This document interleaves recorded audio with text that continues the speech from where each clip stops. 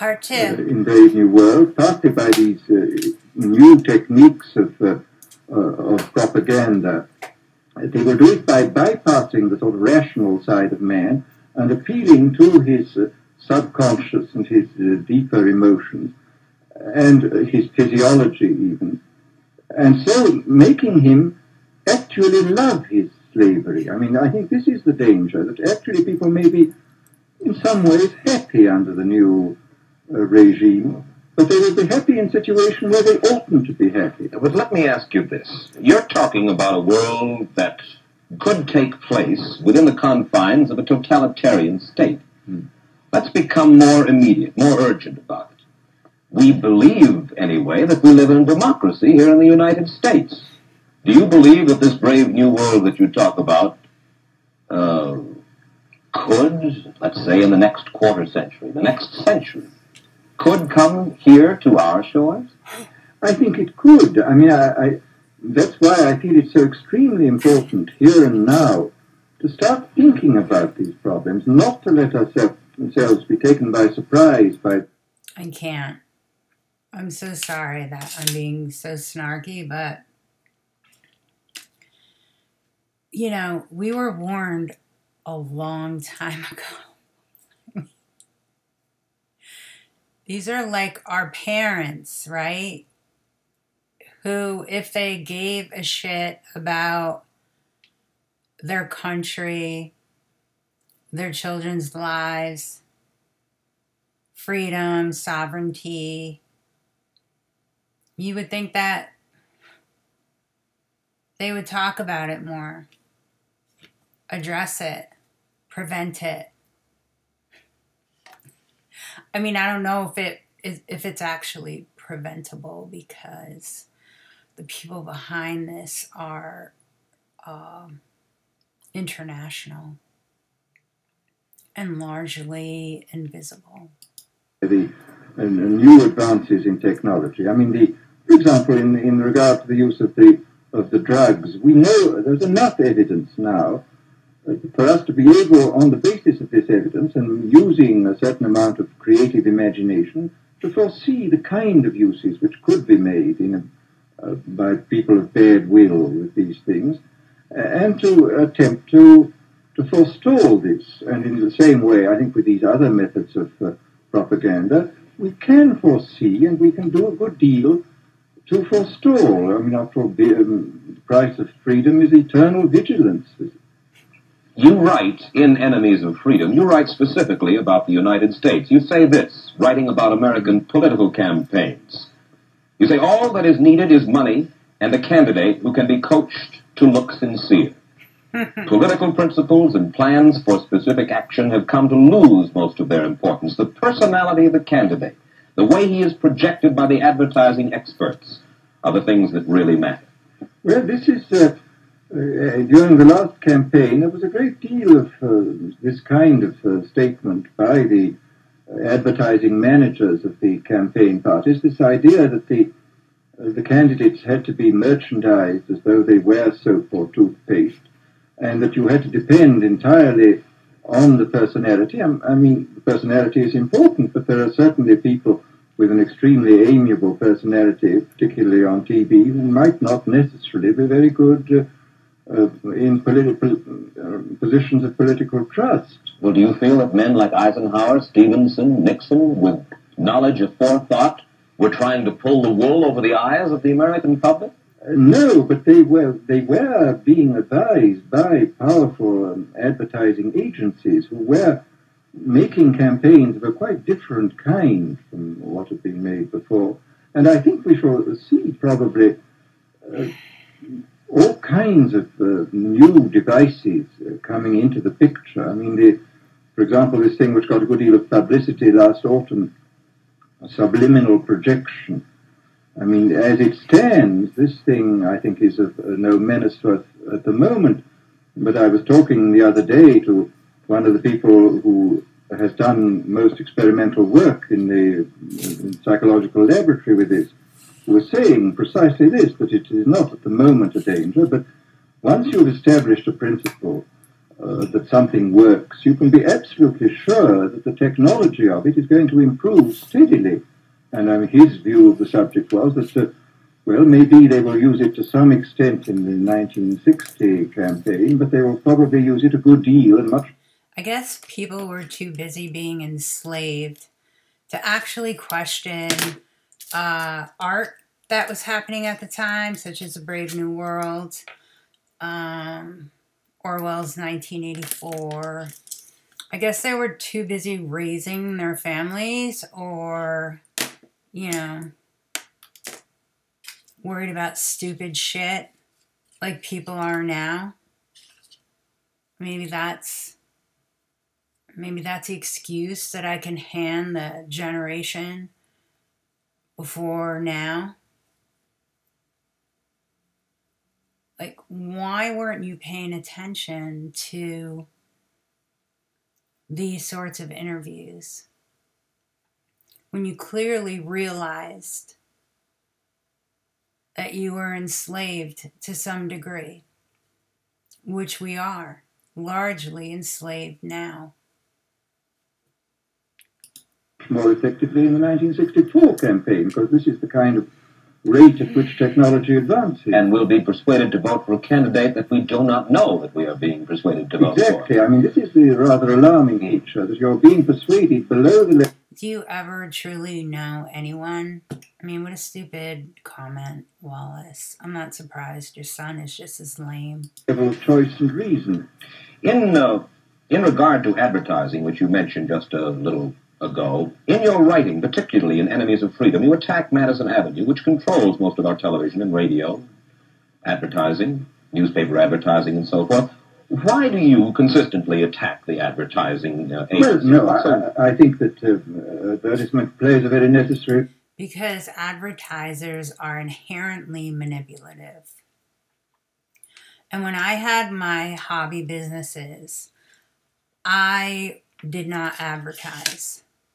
I found it philosophically against my moral fiber to try to convince somebody to buy something that I was making based upon um, a superficial claim, like most advertisers do, which daily insult my intelligence as a thinking human being. role, but Also, I must add that mass consumerism is a distraction. An initial an, another distraction, much like your job, right? Much like your entertainment. the danger, it seems to me, in a democracy is this. I mean, what does a democracy depend on? A democracy depends Also, stop using the word democracy. We are a republic. Okay? And even I'm noticing RFK is using that word in his new campaign endeavors to restore a true democracy. It is such an overused and inadequate term. On the individual voter making an intelligent and rational choice for what he regards as his enlightened self-interest in any given circumstance.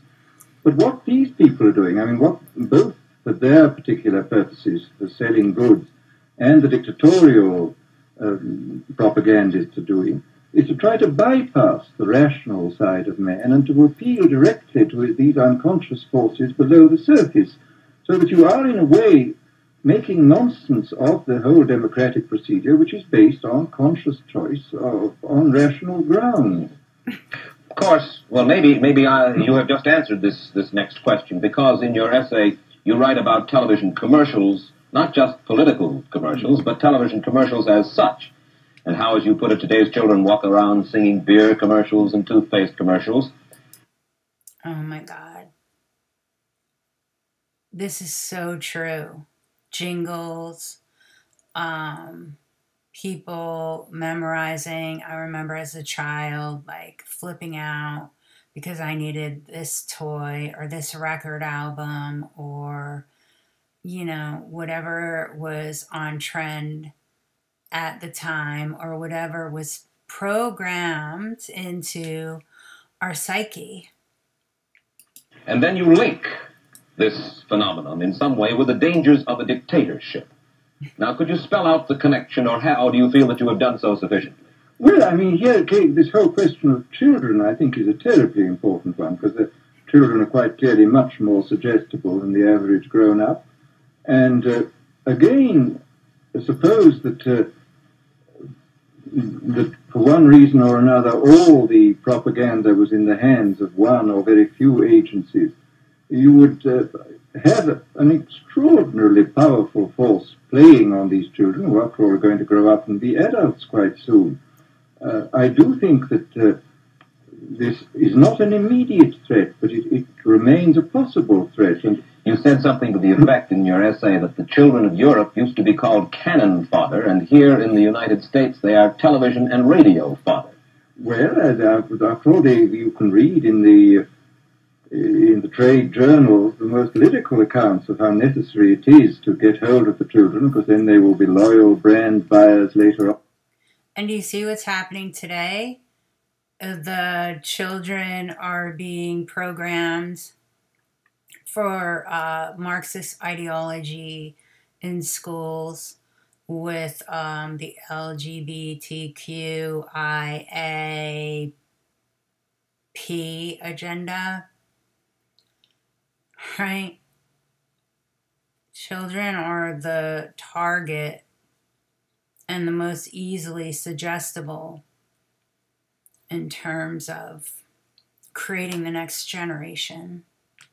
Wrong. But uh, I mean, again, the, you just translate this into political terms. The dictator says they will be loyal ideology buyers when they're grown up. We hear so much about brainwashing as used by the communists. Do you see? Here we go.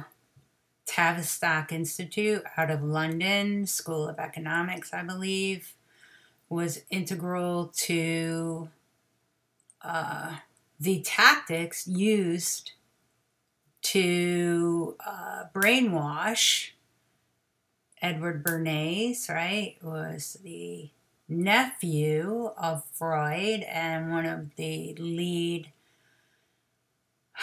I don't know if you could call it executive or think tanker for all these different um, non NGO entities. This is 1958, people. What is our excuse right now? Any brainwashing other than that, which we've just been talking about, that is used here in the United States? Other forms of brainwashing? Not in the form that uh, has been used in, in, China and in Russia, because uh, this is uh, essentially the application of propaganda methods, the most violent kind, to individuals. It's not a shotgun method like the uh, the advertising method. It's a way of getting hold of the person and playing both on his physiology and his psychology till he really breaks down, and then you can implant a new idea in his head. I mean, the descriptions of the methods are, are really blood curdling when you, you read them, and not only the methods applied to political prisoners, but the methods applied, for example, to the training of the young communist administrators and missionaries. They receive a, an incredibly tough kind of training, which may cause causes about 25% of them to break down or commit suicide, but produces mm. 75% of completely one-pointed fanatics. The question, of course, that keeps coming back to my mind is that... And do we not, or do we have fanatics in this country right now? I personally um, feel like if you could label me, I'm a sovereignty fanatic, right? A free thinking fanatic, a person who wants to be treated like an adult and not a slave. And I am not infantilized like most uh, people of adult age in America. It's like I look at people, I listen to people, and I'm like, wow, these people really didn't graduate past 10th grade in maybe fourth grade, even in policy ideas, strategies, um, the way that they behave, the lack of emotional control, nervous system regulation. I mean, it's really quite astounding. This. Obviously, politics in themselves are not evil. Television is not in itself evil. Atomic energy is not evil. And yet you seem to fear that it will be used in an evil way. Why is it that the right people will not, in your estimation, use them? Why is it that the wrong people will use these various devices and for the wrong motives? Well, I think one of the, uh, of the reasons is that uh, these are all power. instruments for obtaining power, and obviously the passion for power is one of Listen, I haven't watched this. I mean, I don't think like I'm some like super genius because I'm able to foresee what topic is going to come up next, but I mean, I am pretty impressive. And that's not coming from like a narcissistic standpoint, but from a very realistic one. one of the most moving passions that exist in man, and after all, this is all democracies are based on the proposition that power is very dangerous and that it's uh, extremely important not to let any one man or any one small group have too much power for too long a time. After what are the British and American constitutions accept devices for limiting power? And all these uh, new devices are extremely efficient instruments for the imposition of power by small groups over larger masses. Well, you ask this question yourself in Enemies of Freedom. I'll put the I'll put your own question back to you. You ask this. In an age of accelerating overpopulation, of accelerating overorganization, and ev- we're not overpopulated. We're not over we are over accelerated in terms of like organizations, but they're all uh liberal run, owned, funded, 24/7 think tanks. So it's like obviously this has been in the works for a long time. And obviously our government is it features actually um, one party and um, and it's run by the deep state globalists. And um, you know i am against the border being open okay? Because we're not vetting people. It's creating all kinds of massive crime. It's creating um, mexican cartel drug running killing other you know other countries are getting in on the action as well. It's creating dangerous situations for very vulnerable populations that are being extorted out of large amounts of money. Their children's safety is drastically reduced due to crimes of a sexual nature um, against children and um, oftentimes teenage and you know adult women. So you know all these like ideas that they're trying to convince us are largely humanitarian are absolutely the opposite. Ever more efficient means of mass communication, how can we preserve the integrity and reassert the value of the human individual? You put the question. Now here's your chance to answer it, Mr. Huxley. Well, this is obviously, first of all, a question of education. Uh, I think it's uh, terribly important to insist on individual values. I mean, what is, uh, there is a tendency, as um, you probably read a book by Whyte, The Organization Man, a very interesting, valuable book, I think, where he speaks about the new type of group morality, group ethic, which uh, speaks about the group as though the group were somehow more important than the individual. as if the hive mind is more powerful than individual creativity, imagination, and intelligence. That's the greatest misnomer of, of postmodern society. But uh, this seems, as far as I'm concerned, to be uh, in contradiction with uh, what we know about the genetical makeup of human beings, that every human being is unique. And it is, of course, on this uh, genetical basis that the whole idea of the value of freedom is based. And I think it's extremely important for us to uh, stress this in all our educational life. And I would say it's also very important to teach people to be on their guard against the sort of verbal booby traps into which they're always being led, uh, to, to analyze the kind of things that are said to them. Uh, well, I think there is this whole educational side, of, and I think there are many more things that one could do to. to and I'm going to end this part too, just because I, I just want to piecemeal it because I think that there are so many important points in this interview that um, public education, by and large, is meant to create compliant slaves. And with that, I will leave you to watch to your own devices, and then in, I'll do part three maybe later or tomorrow.